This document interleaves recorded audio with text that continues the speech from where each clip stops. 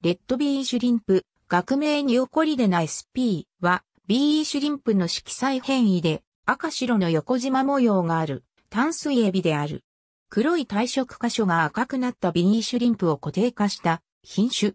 体長は2センチメートル前後で、寿命は2年程度。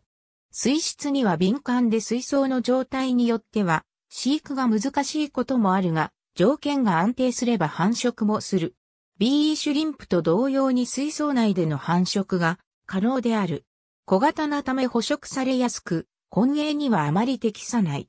隠れ家となるスペースを作ると良いとされる。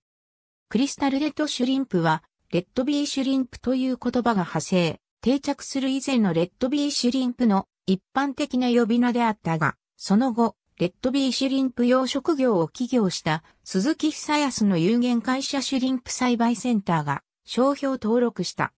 商標権で他の業者がクリスタルレッドシュリンプの名称を使用できなくなったため、それ以降はレッドビーシュリンプが一般的に使用される名称として定着した。そもそもは水草の苔取りとして飼育されていたビニーシュリンプの中から赤みを帯びた個体を1991年、当時、愛知県田原市で門寿司を経営していた鈴木久康がピックアップし、固定化した。その後、アクアリウムに生えることから、静岡県の観賞魚商社、株式会社清水金魚の吉田により、東海エリアを中心とし全国の観賞魚店に広められた。また、日本中のブリーダーの手により、体色の模様や色の濃淡、スタイルや発色、色の濃さの固定化がされることがある。体の大きさやバランス、色のり、発色、色の濃さ、殻の厚さなど。